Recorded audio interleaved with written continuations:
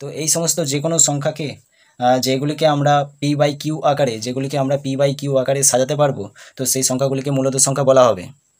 যেখানে q not equal to zero ঠিক আছে? তো এখানে আমি দেখো, এই সমস্ত পূর্ণ সংখ্যাগুলিকেও আমরা মূলত সংখ্যা বলছি।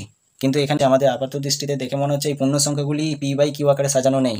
কিন্তু এই সংখ্যাগুলিকে আমরা তাহলে মূলত সংখ্যা বা রেশনাল নাম্বারস কেন বলব? বলার একটাই কারণ, আমরা এক এক সমান লিখতে পারি যে কোনো একটি পূর্ণ সংখ্যার নিচেতে আমরা এক ধরতেই পারি। আবার পাঁচ সমানে পাঁচ বাই এক, ঠিক আছে? তো মাইনাস টু মানে কি হবে? মাইনাস টু বাই ওয়ান যে কোনো পূর্ণ সংখ্যার নিচে এক লিখতেই পারি, কারণ যে কোনো পূর্ণ সংখ্যাকে এক দিয়ে ভাগ করলে সেই সংখ্যাটি পাওয়া যায়। যে, তাহলে শূন্য কি একটি মূলত সংখ্যা? শূন্যকে পি বাই কিউ আকারে কি লেখা যায়? দেখো, শূন্য সমান আমরা লিখতে পারি কি? শূন্য বাই এক লেখা যায় তো? কারণ শূন্যকে যদি আমরা এক দিয়ে ভাগ করি, কত পাওয়া যায়? একে শূন্যয় শূন্য।